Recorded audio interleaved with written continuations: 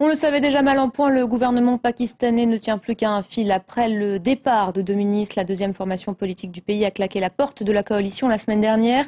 Comme si ces deux événements ne suffisaient pas, le gouverneur du Punjab, l'une des personnalités éminentes du pouvoir, a été assassiné, tué euh, par son propre garde du corps pour ses prises de position contre la loi euh, sur le euh, blasphème. Tazer était opposé à cette loi défendue par de nombreuses organisations islamistes. Nous en parlons ce matin avec notre invité euh, Gilles Boquera. Bonjour. Euh, vous êtes euh, chercheur associé à l'IFRI, spécialiste de l'Asie du Sud. Nous sommes également avec notre correspondante en direct avec notre correspondante à Islamabad, Anne-Isabelle Tolek. Nous allons retrouver dans un instant. Gilles Boquera, tout d'abord, un premier mot sur cette loi sur le, le, blasphème, un sujet, on l'aura compris, extrêmement sensible dans le pays, au sein de la population, mais également au sein de la classe politique. Oui, tout à fait. En fait, cette loi sur blasphème a été instaurée par Ziaoulak du temps où il était président de, l'État islamique du Pakistan.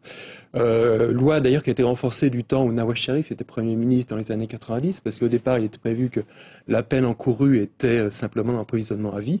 Et cette loi a été durcie sous le régime démocratique, finalement, de Nawaz Sharif dans les années 90. Et effectivement, comme vous le dites, c'est une loi qui est euh, assez largement soutenu par, par la, population pakistanaise.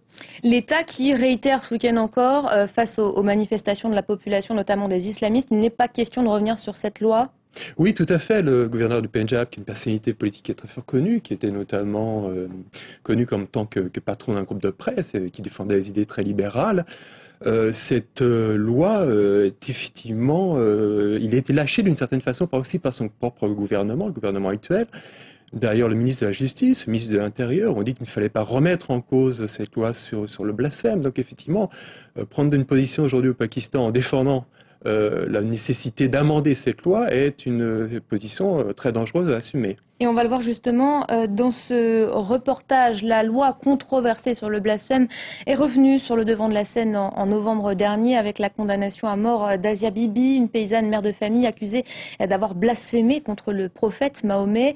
Ce sujet ultra sensible est devenu tabou au sein même du Parlement. Voyez ce reportage d'Anne-Isabelle Tollet. Les manifestations ne sont pas légion au Pakistan, mais quand il s'agit de défendre la peine de mort en cas de blasphème, des centaines de milliers de Pakistanais affichent une détermination sans faille. Ici à Islamabad, mais aussi à travers tout le pays, les slogans fusent. Depuis qu'il est question de réformer cette loi qui condamne tout citoyen suspecté d'avoir insulté l'islam. Une colère qui coûtera la vie à un homme politique de premier plan, Salman Tazir, gouverneur du Pendjab, a été assassiné il y a quelques jours dans un marché de la capitale. Son garde du corps l'a criblé de 27 balles pour avoir défendu la chrétienne Asia Bibi, condamnée à mort pour blasphème.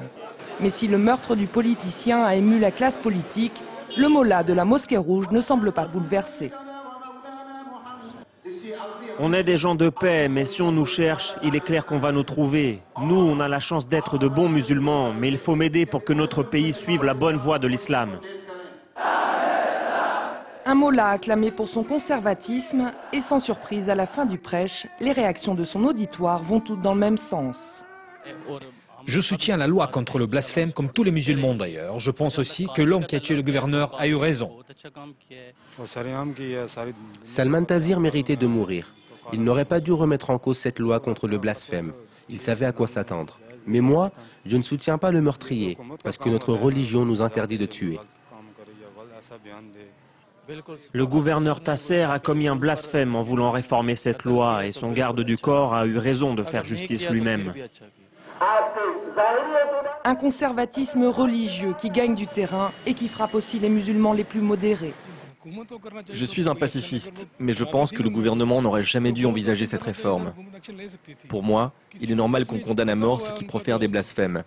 Si ça change, ce sera l'anarchie dans tout le pays. Ce sujet ultra sensible est devenu tabou au sein même du Parlement. L'assassinat du gouverneur du Pendjab a jeté un froid dans la classe politique, désormais paralysée par l'extrémisme religieux. Dans ce contexte, le président Zardari, réputé pour sa légendaire corruption, risque de se voir affublé d'une autre étiquette, le manque de courage. Un manque de courage, Anne-Isabelle euh, Tollet, bonjour. Vous venez de, on vient de voir votre reportage.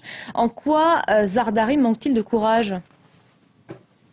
Il faut se rappeler, Elisabeth, euh, il y a deux mois que le président Zardari, devant la pression internationale, avait évoqué l'idée de gracier Asia Bibi, qu'il faut rappeler aussi, ils ont depuis deux ans accusé d'avoir euh, commis un blasphème envers le prophète Mahomet. Mais devant déjà la montée euh, des extrémismes religieux, le président Zardari s'était rétracté en disant qu'il allait laisser la justice faire son travail. Alors depuis, on a vu que cette loi contre le blasphème euh, suscitait euh, toute euh, l'attention du pays.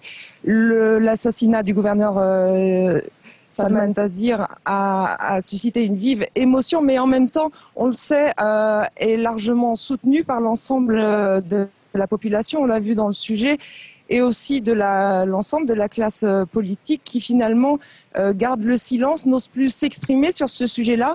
Et même si elle a dit qu'elle ne reviendrait pas sur euh, cette loi contre le blasphème, on a vu encore hier à Karachi que plus de 50 000 manifestants se mobilisaient contre l'amendement de cette loi contre le blasphème et euh, érigeaient le tueur du gouverneur Salman Tazir en héros la population euh, mobilisée. Gilles Boquera, on, voit que les islamistes sont de plus en plus influents sur la société euh, civile. On a le sentiment d'assister à une montée de l'islamisme. Est-ce que c'est vraiment le cas?